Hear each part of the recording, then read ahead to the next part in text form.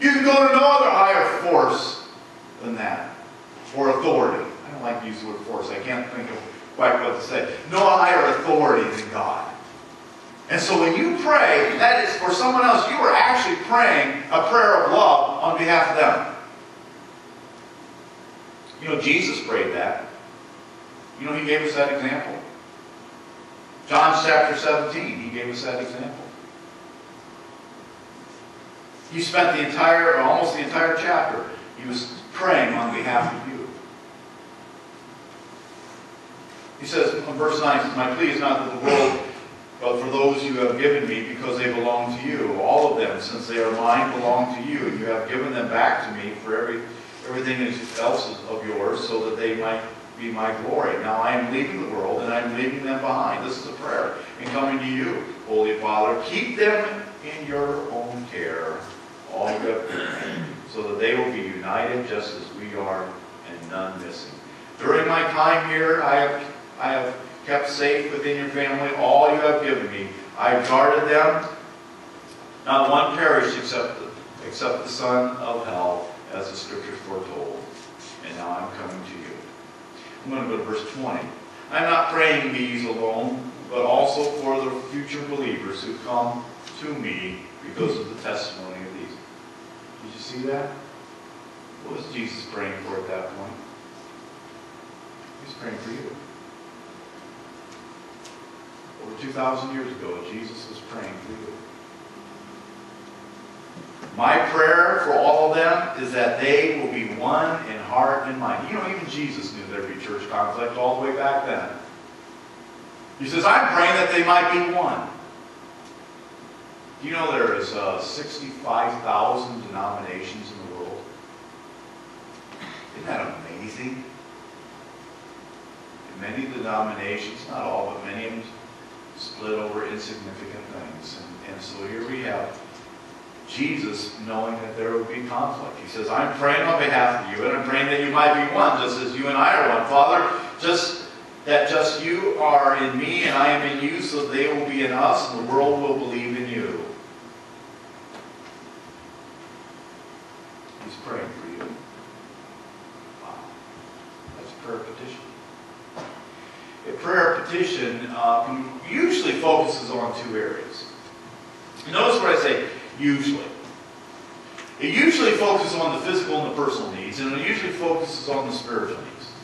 And, uh, and so, usually, and I put it at the beginning, a lot of times we go to prayer on behalf of somebody else because of physical needs. I pray for so-and-so that's in the hospital. I'm on a, there's an app, I got a brand new computer because mine was dying, and so I decided I'd go and buy one. I got the Windows 8 Everybody's groaning when you hear that. It takes a while to get used to it, I'll tell you. It's, it's a hybrid between a, uh, uh, an Android and a computer, and uh, it takes a while to get used to it. But I found an app, and it's called a Bible, Audio Bible app. And so what I do is, um, is a lot of times, if you come in the office uh, during the morning, it's, it's pretty quiet in the office, but it's not really. Because I got my headphones on, Chet's got his headphones on, and sometimes Carol turns her music on. But uh, because I'm listening to something else and he's listening to something else. Well, a lot of times I'm, I'm listening to that radio Bible app, and it's uh, you go through the year where somebody's reading the Bible to you, and it takes it takes about an hour, but he's about a half about a half an hour of it is actually is uh, reading scriptures. And then he has a little five-minute devotional, and then the rest of it is prayer requests from all over the nation that people are bringing in and asking for prayer. The majority of those prayer requests are physical needs. Now, am I saying that's wrong? No. Look at the scriptures. How many people went to Jesus and they had a physical need? How many lepers went to Jesus? How many paralytics that went to Jesus? So it's, it's okay to pray for the physical needs. But I, I just find it interesting. That seems to be the number one one we pray for. Pray for me or pray for my neighbor because they're having surgery or something like that. But what about the spiritual needs? When was the last time you prayed for somebody on behalf of their spiritual needs? Maybe of us have children that have walked away from the Lord.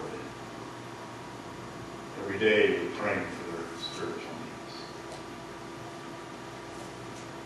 What's the greatest need that we have? Spiritual. spiritual. That's the greatest need. What's the need that will last for an eternity? It's spiritual. This body mind is wasting away. I'm finding out as I hit the big 5 I went up to my wife the other day. She was laying on the floor. I was going to sneak up on her and kiss her on the forehead, you know. And I went down and I, I went down and, and crack, crack.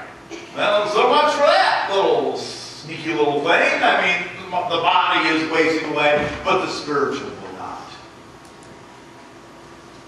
This last time we prayed and prayed and prayed on behalf of somebody. And we said, God, I pray that you'll just be I pray, I pray. I pray for their salvation. I pray. What about the Bible says that we're supposed to pray for our enemies? How many of us pray for our enemies? That's a prayer petition. We pray for our enemies.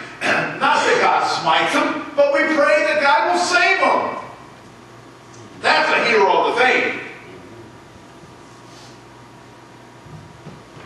We pray the prayer of petition. The prayer of petition must also have a willingness to accept God's will. We know that there are some things that are scriptural. That God, we know there are a number of things that are God's will, because the Bible comes right on and says it. So it's open and continue to pray. I don't think we need to pray, Lord, I pray, if it be your will, that Craig Kupferberg be saved. Well, we know God desires for Craig Kupferberg to be saved. He is sick. Don't worry about it. He wouldn't be an elder.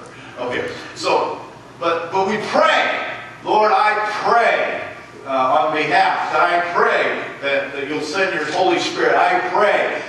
Matter of fact, if you remember a long time ago, the prayer at the altar used to be prayers of, Lord, I pray that you will make Craig Kupferberg so miserable that he'll come to you. That's how they used to pray. Because a lot of times people will not change until they hurt enough. That used to be the prayer of petition. And so we pray that God's will be done. So we do know, here's, here's just a list of some of the things that we do know God's will. That you will be saved, that uh, His praise and glory will come about. So Lord, I pray that your praise and glory will be shown upon this world, if it be your will. No, we know it's His will. Um, that we live in His grace, if it be no, that we might be obedient to Him. We know that that's His will. So Lord, I pray for Craig Kupferberg that he will be obedient to you in this area, if it be your will. We don't need to pray that. But we do need to pray that, Lord, I pray that Craig will be obedient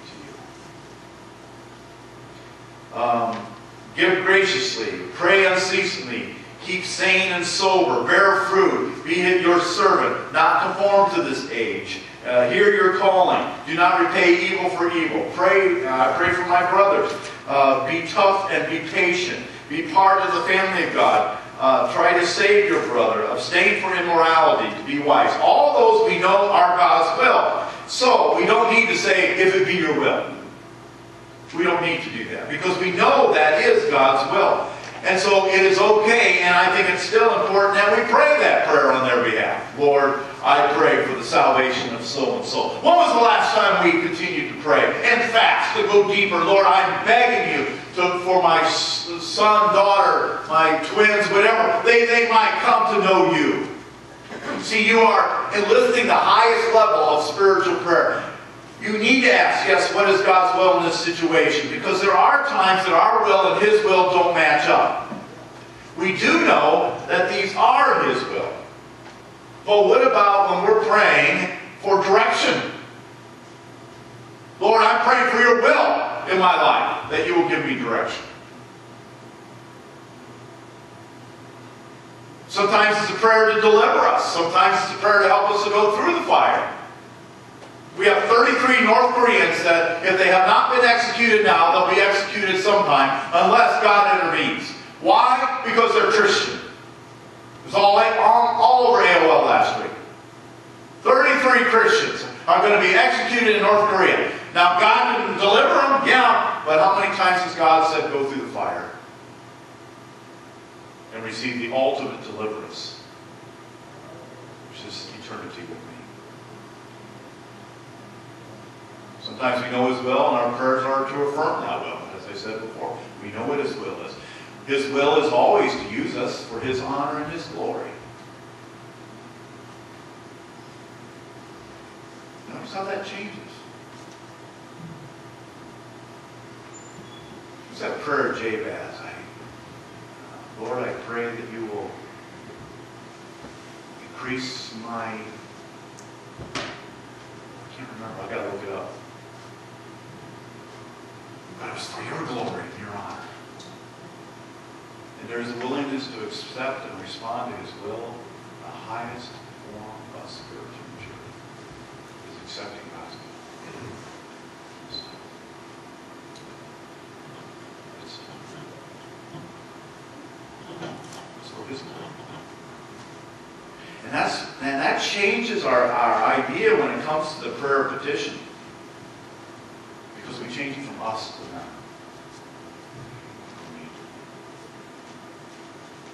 Challenge of the week. Pray the prayer petition on behalf of others in the advancement of God's kingdom. I didn't give a challenge to this service last week. Uh, I gave it to the second service, so I sent an email out. Remember that email I sent? Said, I'm doing the challenge, and I was just curious to see how many people remembered what the challenge was. That's why I kept it very vague.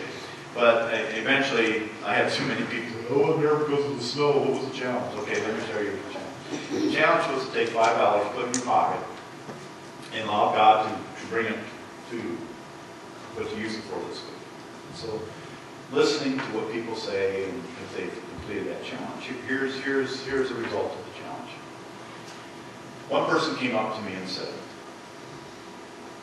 and I got permission to share this. I was at a, at a restaurant, and I was talking with the waitress. There was another customer there that was very rude to the waitress. In fact, the person screamed out, when are you going to serve me? Anybody ever been a waitress? You ever have that? And then, uh, by the way, Christians, before I finish this, we should never do that. We should never do Ollie and I were at uh, a conference one time, and the hotel screwed up, and they overbooked the hotel and everything else, and I watched the Christians down at the, at the checkout desk just chewing out the desk.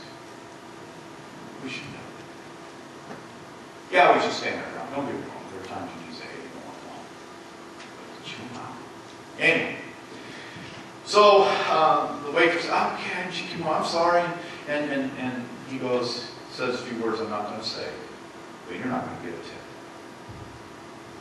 That's so loud so everybody could hear.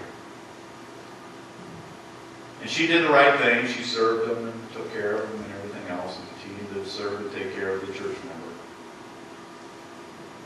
And then on the way out, evidently, I don't know if the Lord spoke to the church person what it was, but the church person stopped, turned around, called the waitress back, and said, he might not give you the tip, but I'm going to double tip you to pay on his behalf.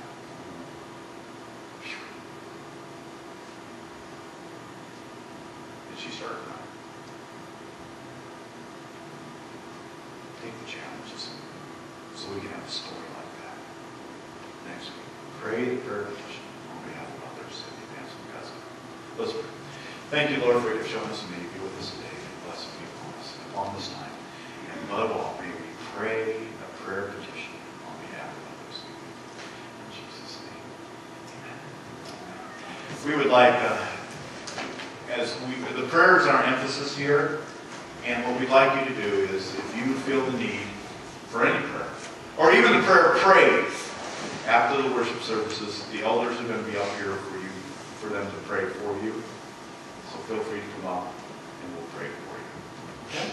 All right. God bless you all. We'll see you in Sunday school, and uh, be thankful we have those.